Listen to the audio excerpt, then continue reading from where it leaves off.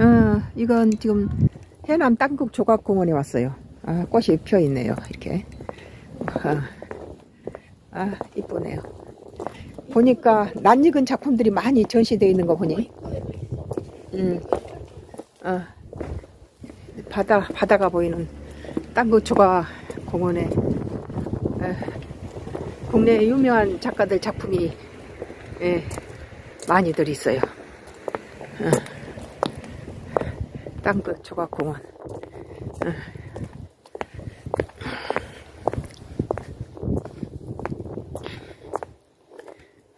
아, 유용교 아, 조각 있고.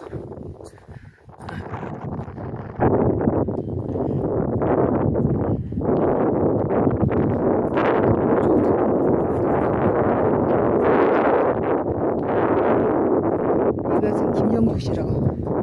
아, 여기. 예. 네. 어? 어? 유영교. 어? 유영교 작품. 아.